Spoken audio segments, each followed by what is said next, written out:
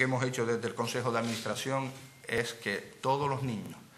de 0 a 8 años tengan un 20% de descuento en el abono. Y todos los niños y jóvenes de 9 a 23, que es la otra tarifa, de 9 a 23 años, tengan un 10% de descuento. Esto es en los abonados de la Unión Deportiva Las Palmas. Los no abonados, que se quieran hacer abonados, tendrán de 0 a 8 años un 10% de descuento y de 9 a 23 un 5% de descuento. Por lo tanto, para que quede claro que la Unión Deportiva Las Palmas hace un esfuerzo importante en esta campaña de abonados en el sentido de regalarle a más de 5.000 abonados 100 euros de descuento por cada abono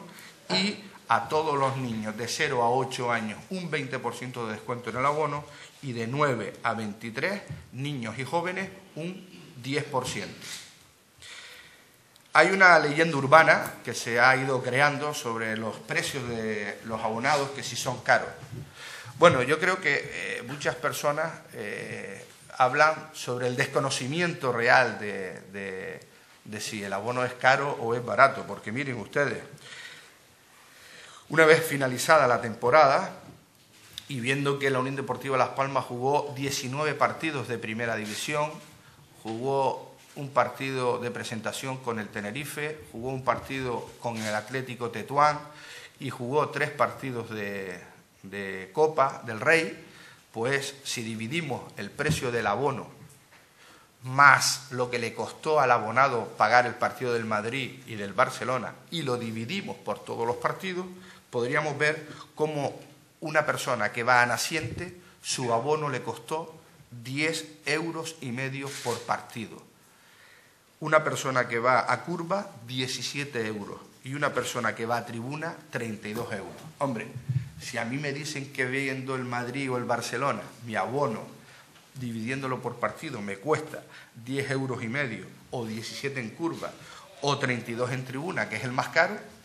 pues vuelvo y repito, es una leyenda urbana la que se ha ido creando sobre los precios de los abonos de la Unión Deportiva Las Palmas. Por lo tanto, yo creo que era lógico que eh, ese desconocimiento hiciera que diferentes medios de comunicación y diferentes plataformas de aficionados se sumaran a, una campaña en contra de la política de precios. Pero los números están ahí, los partidos son los que son, el precio que se ha pagado es el que se ha pagado y la división por los partidos que se, que se han jugado dan estos resultados. De ahí que los precios no se puedan tachar de caros, eh, sino precios de mercado, precios de lo que cuesta una entrada para un abonado en equipos normales de la categoría de la primera, de la primera división.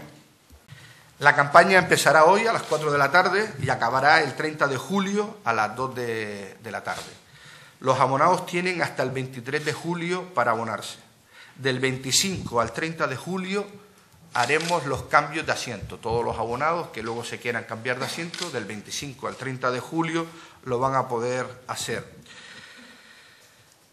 Se pueden abonar bien o en la oficina del abonado, citas en, la grada curva del Estadio Gran Canaria, o vía eh, online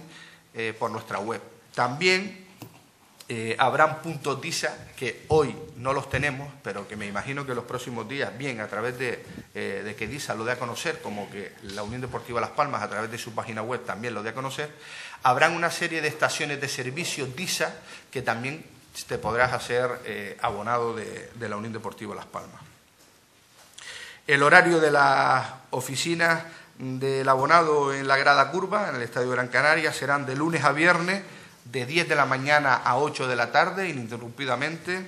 y los sábados de 10 a 2. Antes, la diferencia es que antes el sábado era todo el día y el domingo también. Hemos recortado, al haber tantos días por delante, hacer una campaña de abonados tan larga, pues se reduce a que los domingos y los sábados por la tarde no se va, no se va a tener las oficinas abiertas. Eh, financiar la campaña. Los que son abonados, los, perdón, los que son clientes de Caja 7, Caja 7 ha sacado un producto para sus eh, clientes eh, por el cual se pueden abonar en la Unión Deportiva Las Palmas y pagar el abono durante tres meses sin ningún tipo de comisión, sin comisión de apertura, de estudio, sin ningún tipo de gasto. Caja 7 va a permitir que un cliente de Caja 7 se pueda abonar en la Unión Deportiva Las Palmas y pagar en tres meses sin coste adicional alguno.